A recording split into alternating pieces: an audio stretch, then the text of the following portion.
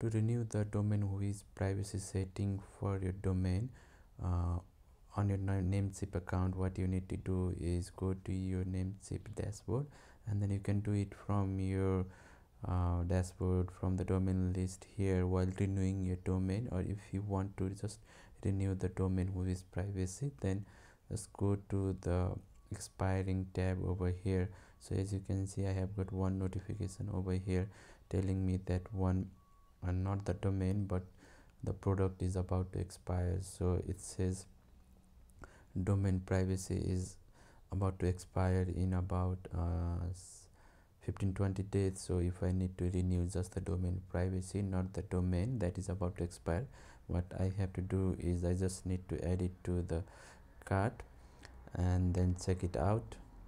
So since it's free uh, and then i have just enable auto renew also in case it, it if it doesn't work that way or since I was getting in a lot so let me just do it from here. So you can confirm the details. So that's it.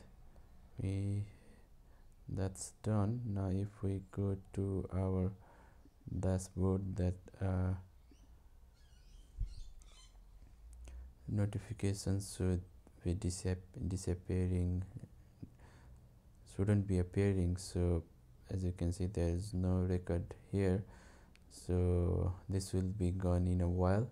So this is it. How you continue your domain privacy setting on your namecheap account. Thanks for watching